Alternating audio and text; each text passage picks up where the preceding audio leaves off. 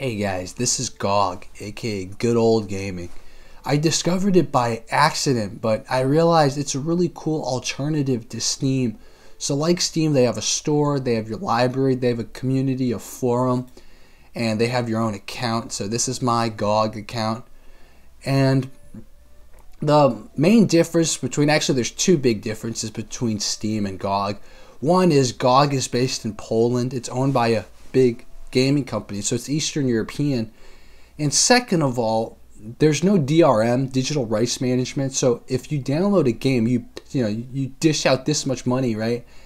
Um, you'll be able to install this anywhere. You don't have to have the GOG client. So that's pretty cool. The one thing I did notice that the this is a maybe you call it a weakness or something, a bug they need to fix. So let's say I'm looking at shooters, right? and you see there's all this criteria. I want only Mac shooters because I have a Mac. Now, let's say I check out some game. I check out this game. This game looks pretty cool, right? I'm checking out this game. And then watch this. I go back and the criteria I picked is gone. It's unselected anymore. So, if I pick English and I click multiplayer, Again, you get all this stuff. Hey, they got Quake, right? Good old games. They have all this good old games. Look at all this. A lot of these good old games.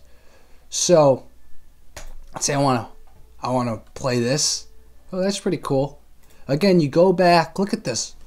All of this is unchecked. So they please remember people's preferences, God.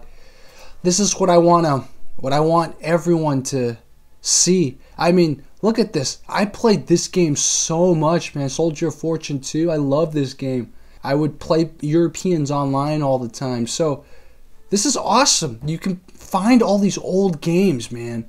But the store has to be better navigable. I want to support this, right? Any kind of competition to Steam is really good, but we really cannot have this bad store layouts. That's one thing I want everyone to know. Oh my god, Fallout 3 is only $9.99. I'm in DC right now visiting my parents, so being able to play Fallout 3 is freaking amazing. Look at that. So, Fallout 3 is from Bethesda Game Studios, which is right near me. Alright, guys. Um, check out GOG, Good Old Gaming. I'm actually going to contact them. Maybe I can interview them, or I could potentially represent them somehow. Um, they're in Poland. Maybe I can visit Poland, go give them some publicity. So, anyways, guys, check out GOG GOG.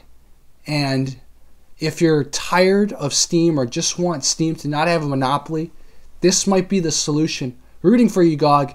All right, guys, talk to you soon.